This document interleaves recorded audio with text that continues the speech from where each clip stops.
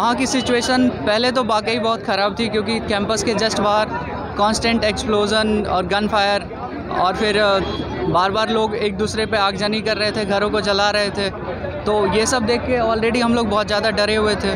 तो फिर हम लोगों ने सरकार से गुहार लगाई कि हम लोगों को यहाँ से बाहर निकाला जाए। और मैं तहे दिल से शुक्रिया करना चाहूँगा सरकार का जो उन्होंने टाइमली हम लोगों को वहाँ से बाहर निकाला और हमारी बात सुनी।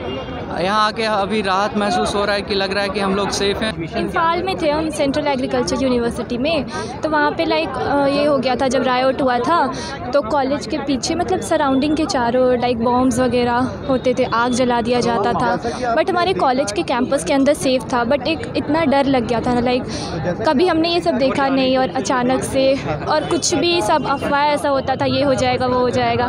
तो लाइक सब सब डर के रहते थे बहुत ज़्यादा। और हमारे हॉस्टल में भी मतलब सारे लोग चले गए थे तो इसलिए हमने बोला फिर इवैकुएट करने को। फिर वहाँ पे गवर्नमेंट हमें देख कर आई सर, वहाँ पे बहुत ज़्यादा हालत ख़राब था पहले से।